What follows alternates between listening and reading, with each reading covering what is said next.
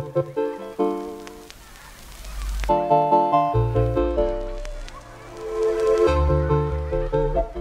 morning, Osaka. Ooh, that's bright. That's bright. Uh, good morning, Osaka. Uh, first day here. Honestly, no idea what to do. Not one clue. Nice though. I got like a I got a cool view. They uh, there's like the harbor and stuff over there. Looks nice. Yeah. Um, so I don't know what to do with day one. I'm thinking maybe I go to the aquarium.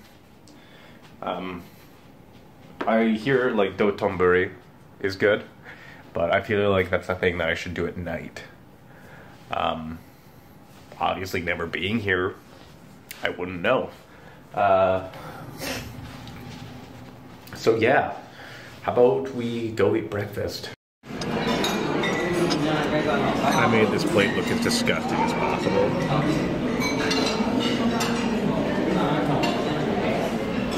I obviously suck at plating for buffets because this looks horrible. Notice the marbling on bacon is a little different in Japan. Like, it seems less fatty.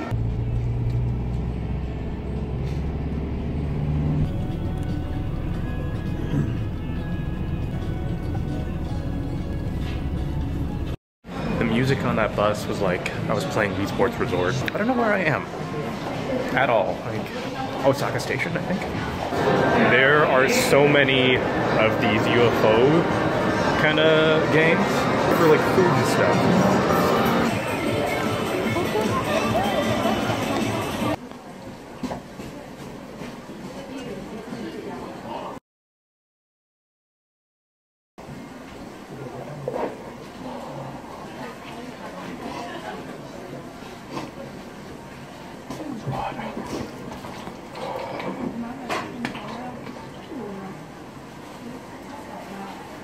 All right, Osaka day two. Day two? Day three? Today, I'm actually gonna go to the aquarium, I think.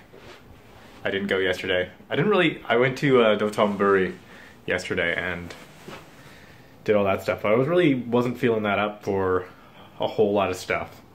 Got a lot of food, food stuff, but I didn't actually do a lot of vlogging just because I also my, my battery died on my camera really early so today I have my handy portable charger so it's gonna be going all day. You're gonna see so much of me today. And then after that I'm gonna go back to Namba and uh, do the eating in the evening you know? Get all my eats done. So let's get to it it is a windy day. Let's do the aquarium.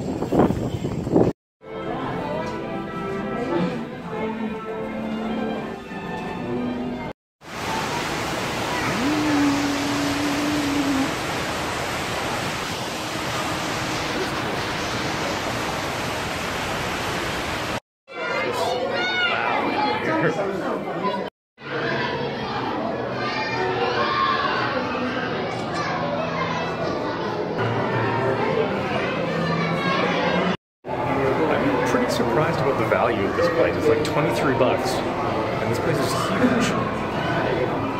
What is that? Look at it. Huge.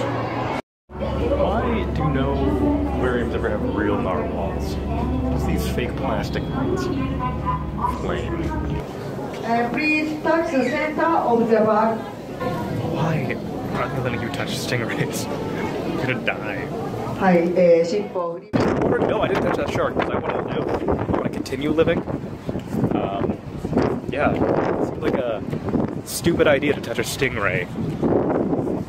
I got jet black ice cream, but um, let's try it out. Hmm? Grab on my lip. It's vanilla. It tastes like regular vanilla, but it's just black. That nice old woman tempted me with her okonomiyaki, and it was delicious. But I feel like she conned me into it. I'm so full now. Oh. Okay, I'm out of my food coma. I'm gonna go back out. I went to the sauna. I found out there's a sauna in this hotel too, and a steam room and stuff. So, of course, I had to do it. Um, so yeah, now I'm gonna go back to Dotonbon. Blah, blah, blah, blah. Now I'm gonna go back to Doponbury. Dope Donbury, no, and Namba, and yeah, we're gonna we're gonna see where that goes. I'm gonna try to find some kombucha tea, and that should help me digest while I'm doing this. I don't think you can find it as easily as you can in Vancouver, though.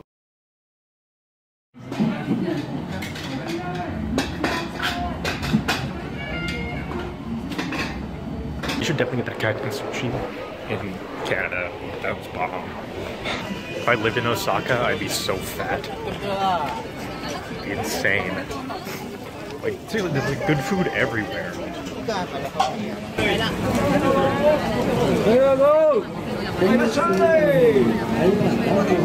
So I've had tempura, I've had karaage, I've had. I went to a bar.